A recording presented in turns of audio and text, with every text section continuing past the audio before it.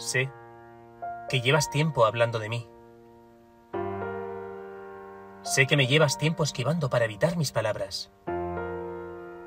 Sabes que has hecho mal, incluso sabes que me has hecho daño, a mí y a mi familia.